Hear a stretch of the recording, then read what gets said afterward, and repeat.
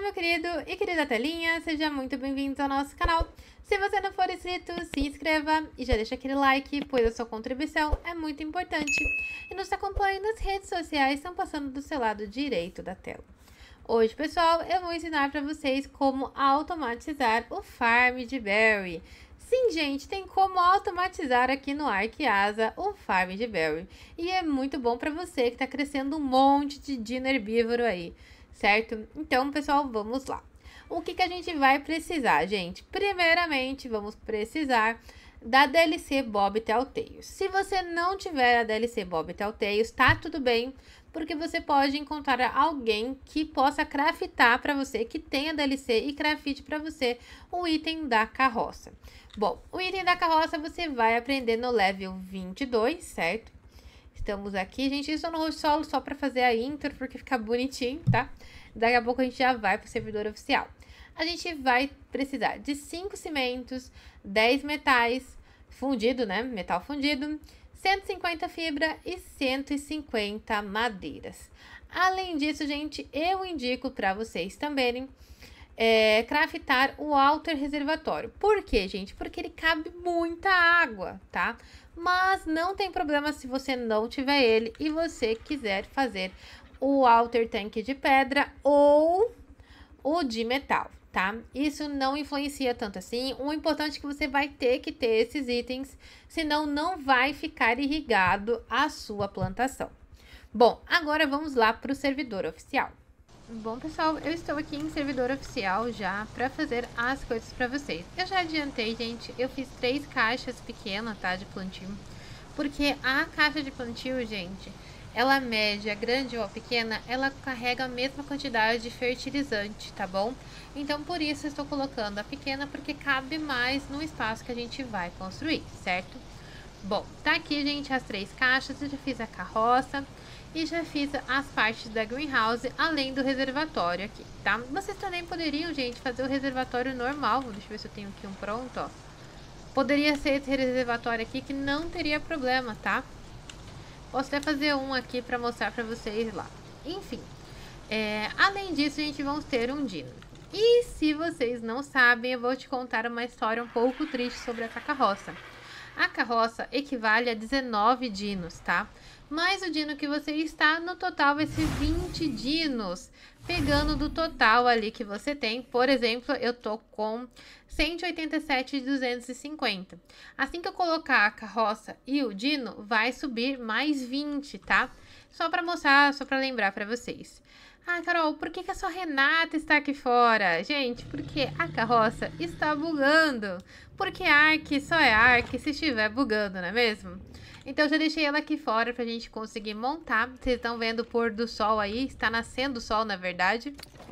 Vou jogar aqui o meu megatério, certo? Pode ser megatério, pode ser cavalo, pode ser parasauro, tá? E aí eles têm que estar com a cela, gente. Se eles não estiver com a cela, você não vai conseguir colocar a carroça.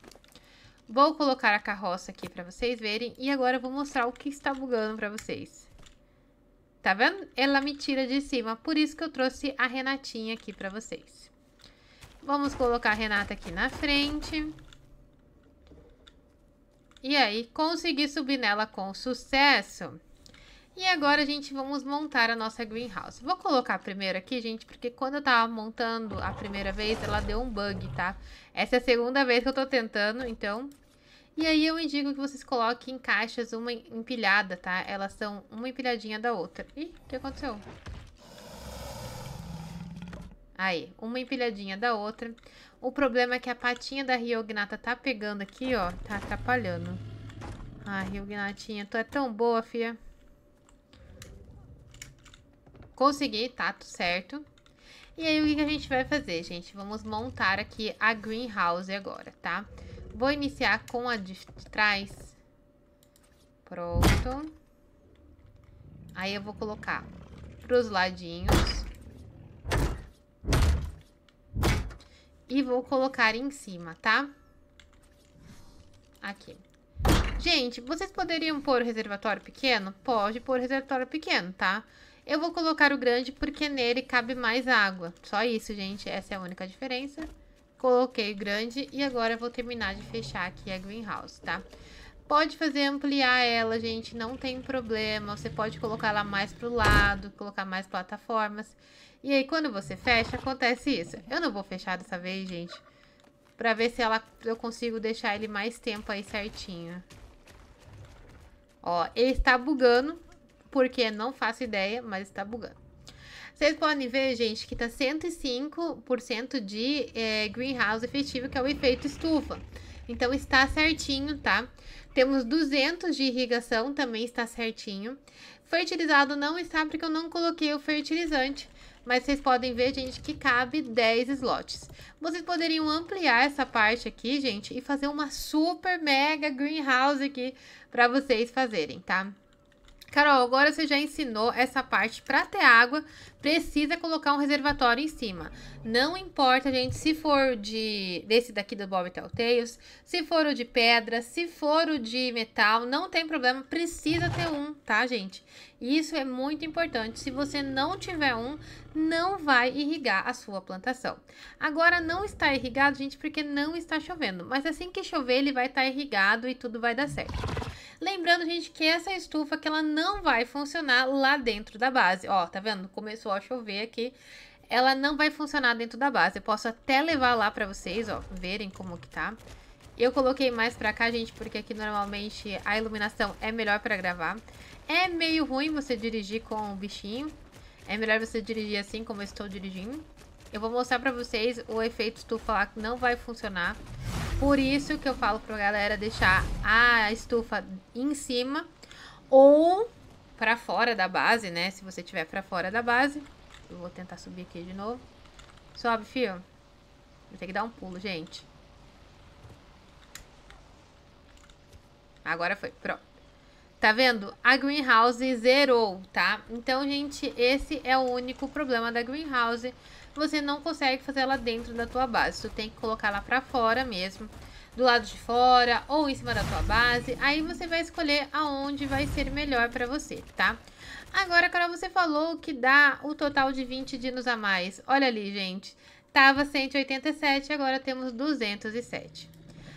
Tá, Carol, você já ensinou fazer a estufa, você ensinou colocar a caixa de as caixas de plantio e você ensinou colocar o reservatório para ter água. E agora, como eu ativo para ter, né, o movimento de pegar as coisas cozinhas e encherem os colchos? Gente, vocês vão chegar aqui no Megatério Aqui no computador é a letra E, no Xbox é o Y e no PlayStation é o triângulo, tá? Vocês vão apertar. E aqui, gente, vocês vão habilitar essa daqui. Vocês podem ver que ela já está habilitada, tá vendo? Se eu colocar, eu vou estar desabilitando e aqui tá pra gente habilitar novamente. Então, aqui está ativado. Se eu tivesse com as coisas cheias aqui, gente, ia dar super certo. Bom, agora, gente, esse daqui é só para mostrar para vocês, né?